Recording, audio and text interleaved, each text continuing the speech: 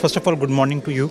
See, uh, we are from Nexson Group. Nexson is a French company and we are into heat transfer efficient products and innovative products for efficient heat transfer across all the refining and petrochemical plants. So we supply efficient, innovative heat exchangers which helps all the refiners and all the petrochemical plants to really improve the energy efficiency of their processes.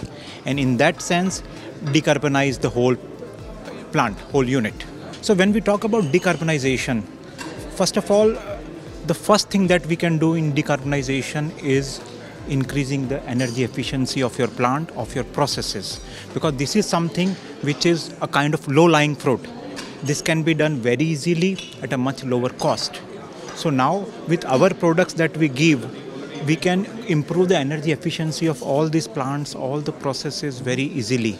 So I think first of all, we all as a complete industry, as a fraternity, we have to focus on low-lying fruit, which is our energy efficiency. This can really decarbonize your refinery by almost more than 20% just for itself without looking at newer technologies, without looking at something which is not being used or proved. Right from replacing your existing heat exchangers with energy efficient compact heat exchangers, mm-hmm. you can increase the energy efficiency by more than 20% we are all going towards net zero. We have our own net zero targets. Like we were looking at uh, Kingdom, the net zero target is 2060.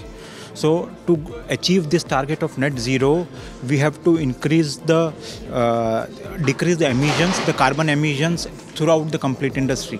When you're talking about carbon emissions, you have to decrease the, uh, improve the efficiency of the process and you have to decrease the loads on your furnaces, on your heaters. And this can only be done with efficient, innovative technologies. We at Nexson are very focused and very keen to work with all these collaborators, all these refiners, all these plants, mm-hmm. whether it is petrochemical, oil and gas, or even for other industries as well. With our innovative technologies, we give them more space, though they can, within the existing space, with smaller exchangers, they can go for expansion. Mm-hmm. They can decrease the duties on their heaters, on their furnaces. Mm-hmm. This way, they are going to decarbonize and they can go for the net zero on their scope 1 and scope 2 emissions. That's very interesting, uh, Dhruv. Thank you for your time. Yeah. My pleasure. Thank you.